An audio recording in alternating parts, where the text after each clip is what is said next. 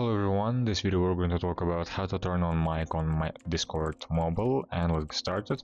First thing first, we're gonna press and hold the icon of the application, go to app info, go to permissions right here and click a microphone, make sure that you choose allow only while using the app because unless you did that it will be not allowed and the discord application would not be able to use your microphone and thus not allow you to actually speak with your friends after this you're gonna go to voice section and right here you're gonna make sure that you have all these settings as I have you may pause the video and especially choose volume output at at least at the middle or at the maximum of capacity.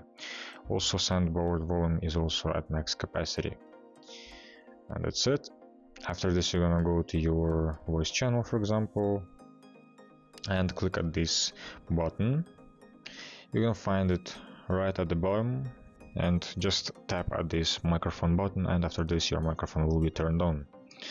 So that's it, if this video was helpful for you, please consider leaving a like and subscribing to the channel, and I'll see you in the next video.